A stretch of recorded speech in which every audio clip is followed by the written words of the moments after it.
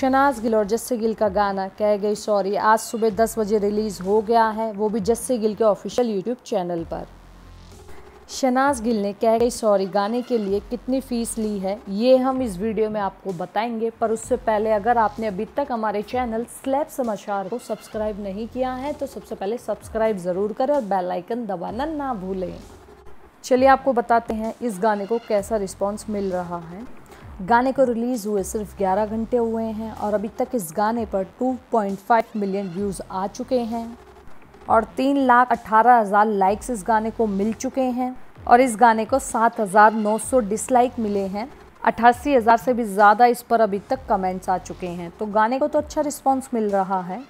Punjabi industry के कुछ singer social media के द्वारा इस गाने को फुल सपोर्ट करते नज़र आ रहे हैं। अभी इस गाने का म्यूज़िक वीडियो नहीं आया है, लेकिन प्रॉमिस किया गया है लॉकडाउन ख़त्म होते ही इस गाने का म्यूज़िक वीडियो ज़रूर आएगा।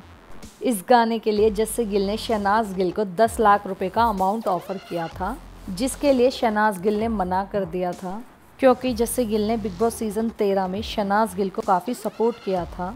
शनाज गिल ने इस गाने के लिए कोई भी चार्ज नहीं लिया है। शनाज का कहना है, जिससे गिल के साथ अगर मेरा कोई नेक्स्ट प्रोजेक्ट आएगा तो मैं उसके लिए ज़रूर चार्ज करूँगी। लेकिन इस गाने के लिए फ़िलहाल शनाज ने कोई भी चार्ज नहीं किया है।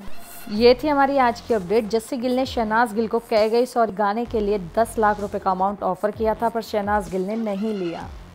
क्योंकि बिग बॉस सीज़न तेरह में शनाज गिल को, जस्सी गिल ने काफ़ी सपोर्ट किया था, इसलिए उन्होंने इस गाने पर अभी कोई चार्ज नहीं किया। लेकिन नेक्स्ट प्रोजेक्ट में वो जस्से गिल के साथ जब काम करेंगी तो ज़रूर चार्ज करेंगी।